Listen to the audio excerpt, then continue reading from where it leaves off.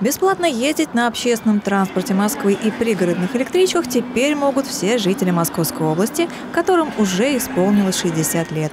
Это более 23 тысяч человек. Чтобы воспользоваться льготой жителям нашего района, необходимо дважды перекодировать социальную карту. Для проезда в электричках, на железнодорожных вокзалах и для поездок по Москве, в МФЦ, Ленинском управлении соцзащиты или на станциях метро.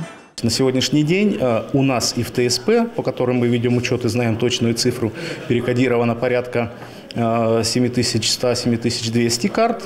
Ну и в целом, э, думаю, что порядка около 9 тысяч карт Ленинского района уже перекодировано, потому что перекодировка, кроме нас, осуществляется еще на 40 станциях метро города Москвы. Это крупные транспортные узлы, это все 9 вокзалов города Москвы, это крупные станции пересадочные, где есть метро, э, в том числе вот станция Домодедово, ближайшая к нам.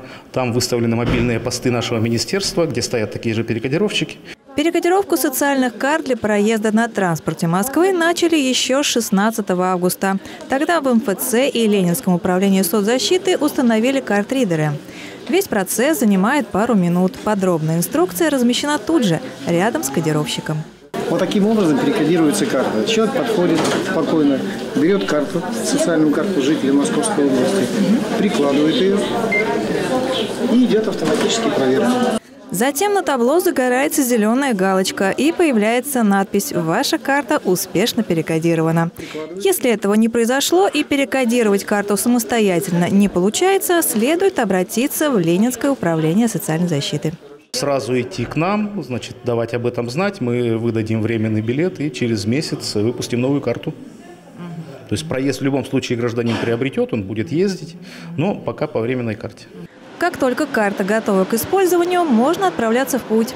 Для льготного проезда на общественном транспорте по городу Москве просто приложите социальную карту к считывающему устройству в наземном транспорте или к турникету метро. Если нужно ехать на электричке, получите в кассе билет, предъявив карту.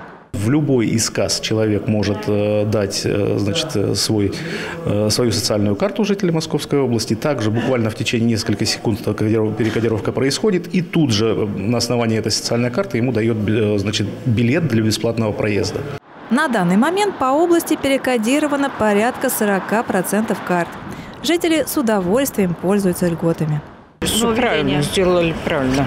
И в Москву ездим, это самое, и в метро, и везде бесплатно. Я считаю, это самое, я вот больше 40 лет отработала на предприятии, так что я думаю, все-таки получи закон, получила так.